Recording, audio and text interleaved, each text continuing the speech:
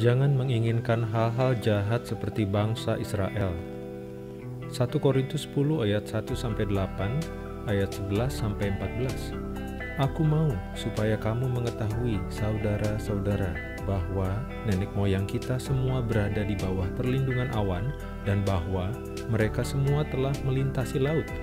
Untuk menjadi pengikut Musa, mereka semua telah dibaptis dalam awan dan dalam laut mereka semua makan makanan rohani yang sama, dan mereka semua minum minuman rohani yang sama, sebab mereka minum dari batu karang rohani yang mengikuti mereka, dan batu karang itu ialah Kristus. Tetapi sungguh pun demikian, Allah tidak berkenan kepada bagian yang terbesar dari mereka, karena mereka ditewaskan di padang gurun.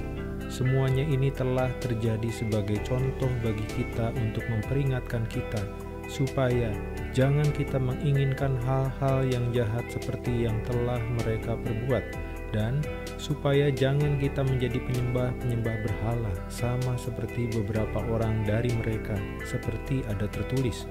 Maka duduklah bangsa itu untuk makan dan minum, kemudian bangunlah mereka dan bersukaria. Janganlah kita melakukan percabulan seperti yang dilakukan oleh beberapa orang dari mereka, sehingga pada satu hari telah tewas 23 ribu orang. Semuanya ini telah menimpa mereka sebagai contoh dan dituliskan untuk menjadi peringatan bagi kita yang hidup pada waktu di mana zaman akhir telah tiba. Sebab itu, siapa yang menyangka bahwa ia teguh berdiri, hati-hatilah supaya ia jangan jatuh. Pencobaan-pencobaan yang kamu alami ialah pencobaan-pencobaan biasa yang tidak melebihi kekuatan manusia, Sebab Allah setia dan karena itu ia tidak akan membiarkan kamu dicobai melampaui kekuatanmu. Pada waktu kamu dicobai, ia akan memberikan kepadamu jalan keluar sehingga kamu dapat menanggungnya.